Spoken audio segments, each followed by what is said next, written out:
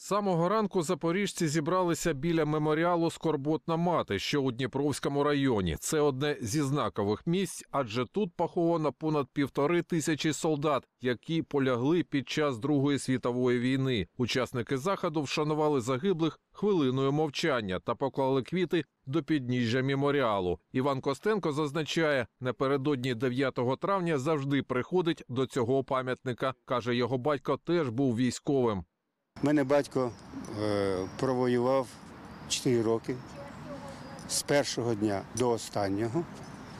І зважаючи на те, що він стільки здоров'я дав, стільки часу був поранений, я ще маленьким був пацанчайком і е, поставив собі за мету бути військовим. Урочистий мітинг в Олександрівському районі відбувається на площі університетській. Саме тут, на гранітному постаменті, височіє танк Т-34. На такій машині в жовтні 43-го першим до Запоріжжя увірвався екіпаж Миколи Яценка. Вдалося відбити кілька бойових точок, але самі бійці загинули. Напередодні 9 травня запоріжці зібралися біля монумента, аби згадати про події Другої світової. У Івана Трохимовича матір розстріляли під час окупації. Вже після визволення тодішнього підлітка мобілізували.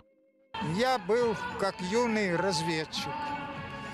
Меня одевали в латаное, торба с сухарем.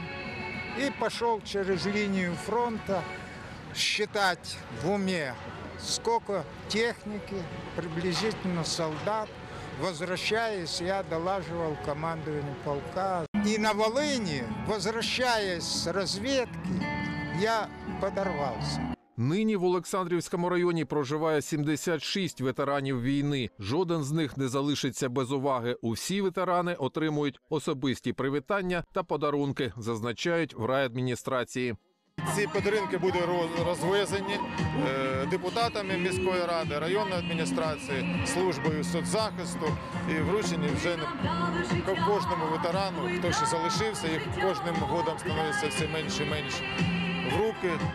Вітання від міської ради, від голови міської ради Володимира Вікторовича Боряка. Артур Туркін, Ілона Скидан, Артем Тімченко, Ілля Герник, телеканал ЗЕТ.